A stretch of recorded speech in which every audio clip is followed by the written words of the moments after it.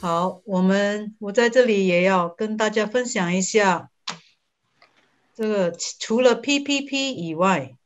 啊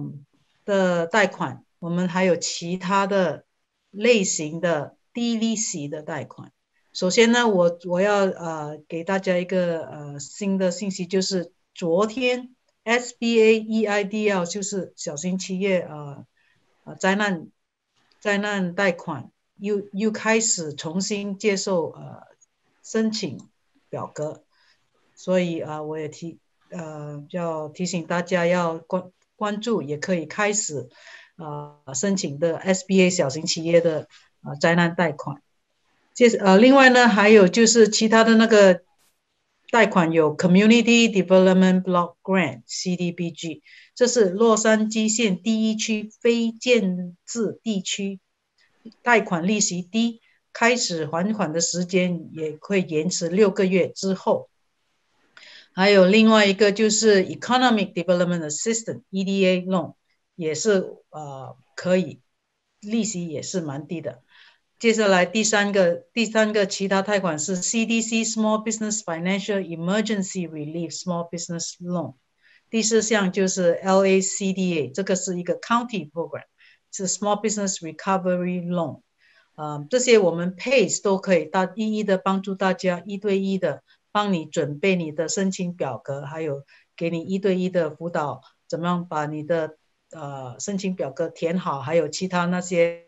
呃重要文件需要的文件都要一一的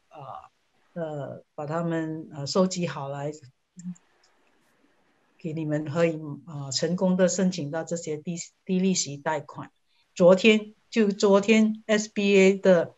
EIDL 就开始重新接受呃申请表格。刚好昨天晚上很晚的时候，我们才收到那个通知，就是 SBA 又重新开放了那个 IDO 的那个申请。那很多企业他就想，我已经申请了 PPP，我可以申请 IDO 吗？两个其实是可以同时进行的。这两个没有冲突的。那那个 PPP 是通过您自己的那个银行或者其他网上的银行发放的一个贷款。那那个 IDO 呢，是您直接在 SBA 网站上去申请的。那如果你们觉得有困难或者不知道怎么去填写这些申请的话呢，那欢迎你随时跟我们联系，我们可以指导你，呃，跟你联呃。一步一步的教你怎么走过去申请这个 idol。idol 前一段时间是呃的关起来了，没有开放，是只是给农业企业。那我估计现在是还肯定是 SBA 还有一定的款项，所以昨天晚上我们才收到消息说这个已经是重新开放。那就鼓励大家还没有申请的话不要气馁，现在赶紧着手申请。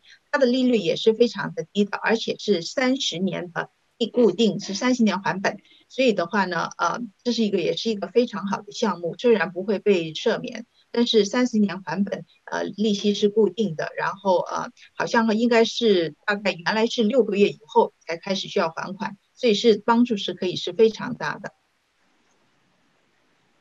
好的，谢谢 Jennifer。那现在也有不少收看直播的观众朋友们，或者是参加 Zoom 会议的线上朋友们，也是陆陆续续发来了一些问题。那我们现在可能要烦请各位嘉宾们，呃，来根据自己的专业领域回答一下我们的观众的提问。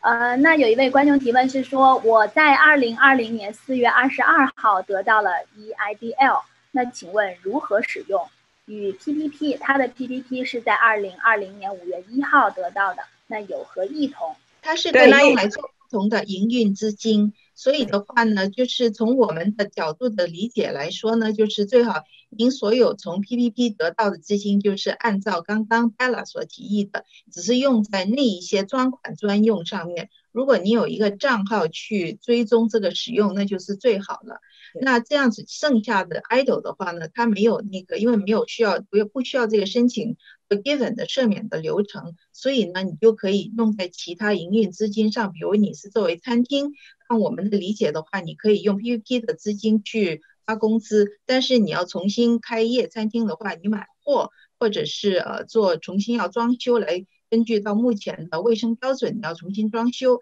那这些的话是可以用你的呃。啊，idol 那里得来的款项去帮助你的。那下面一个观众说，我得到的是 EIDLA，原来说最高一万可以不用还款，确实是这样吗？谢谢。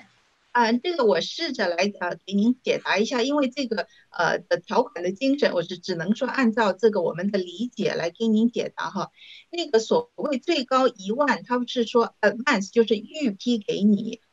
所以如果我们有些客户他已经拿到 PPP 的话，最终在签 PPP 的时候，如果他告诉银行我已经拿到了多少这个 idol 的预批。他就会最终加到你的总的贷款上面去，所以如果你仔细读一下您的那个呃 PPP 的贷款的话，你会发现你当时申请的 PPP，比如是说一万块，但是你又另外从 idol 的 advance 就是预批那里你早一点拿到了，如果你有两个员工拿到两千块的话呢，那就最后你在签 PPP 的时候，你就会看到你的那个贷款银行会给你写成是一万二，所以你就贷款就是变成了一万二。那么这里就存在了一个呃细节，就是说你到时候怎么花这一万二，就是要又要回去到刚刚 balance 上面去讲，你是怎么样去花这个钱，你的账要做好。如果你前面拿来那两千用到别的地方去了话，那这个就是应该是不会不会被赦免的。这是我们对这两个贷款的精神的理解，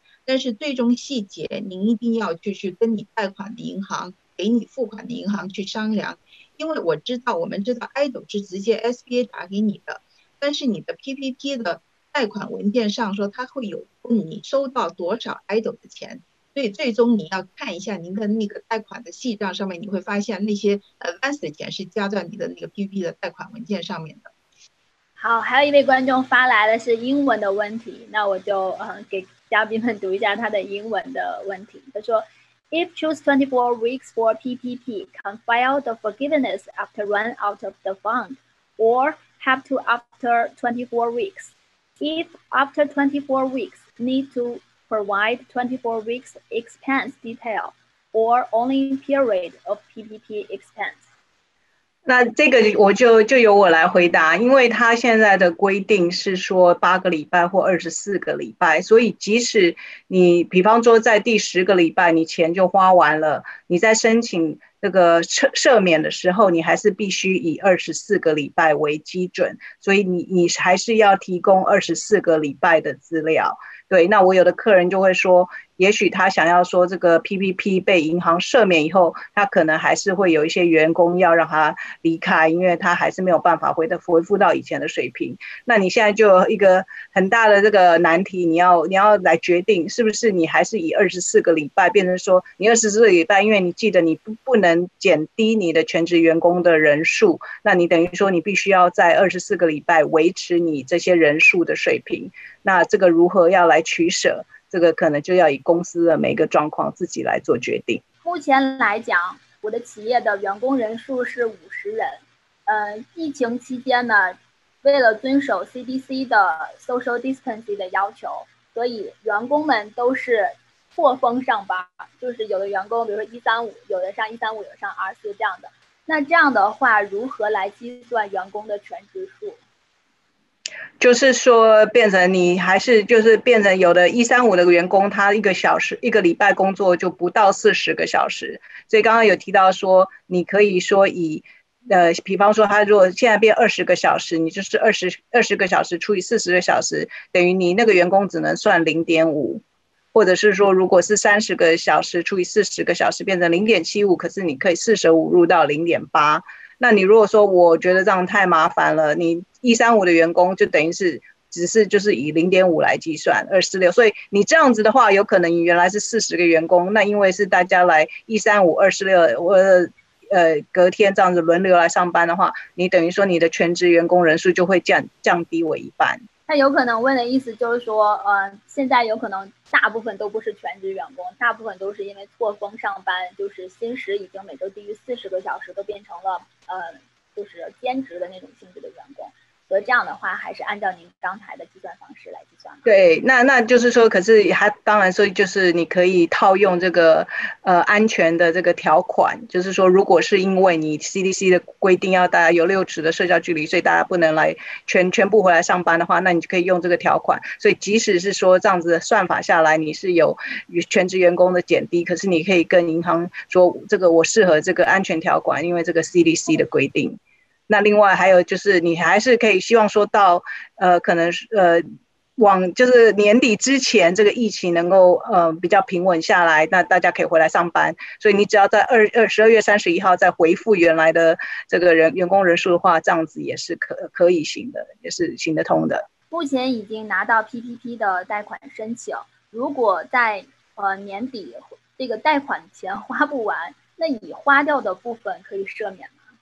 对，如果说你花掉的部分是用在合格的费用，刚刚有提到必须是工资、员工的这个医疗保险，还有说退休账户的这个费用，或者是呃水电费啊这些租金，如果说都是花掉花在这个可以花的地方的话，那些是可以赦免的。那如果没有花的钱，你到时候就是要偿还给银行。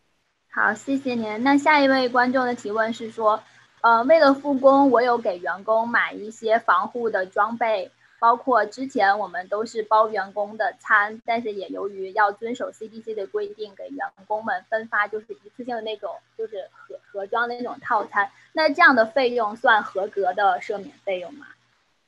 如果说这些费用，你呃那个如果这些防护的这个套具是不行的，除非说这个变成说是给公司公呃员员工的一个。呃，优惠福利。那如果刚刚有提到说这个工工资，就是可以包括的工资，是说可能以后必须要算在这个员工的这个薪资里面，W two 里面。如果说是这个是以后变成他们的一个薪资的一部分，这就可以包括。可是如果说这些防护设备啊，或者是如果说给他们的这个员工餐，也也是一个福利，就是。并不会包括在这个员工的这个薪资里面的话，那就没有办法包括在这个呃赦免的这个计算里面。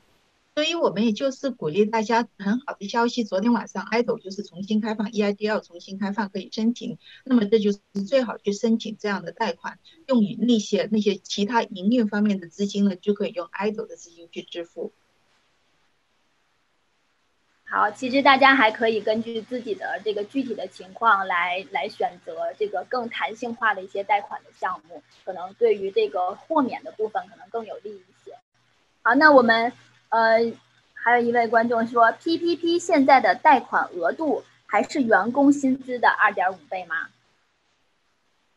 是的。好，这个这个还是没变的。那呃，还有一位观众说，如果现在的用款时间延续到二十四周，那贷款的额度有没有提升？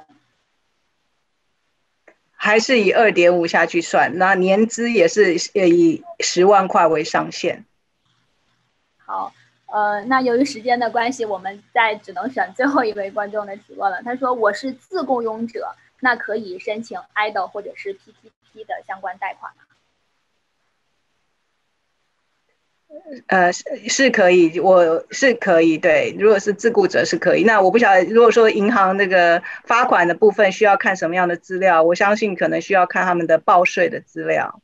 对，如果你是自雇的话，他就看你的 Schedule C Net Income。所以之前呃，就是想提的，就是说有的客人因为呃还没有报二零一九年税的自雇者，那可能因为现在想要申请 PPP，银行需要看他二零一九年的 Schedule C，所以就还是呃要提早赶快把你们的这个二零一九报税的资料准备齐全。我也想提醒一下，就是虽然 SBA 这个 PPP 是六月三十日。啊，三十号是最后一天接受你的申请表格，但是有很多银行他们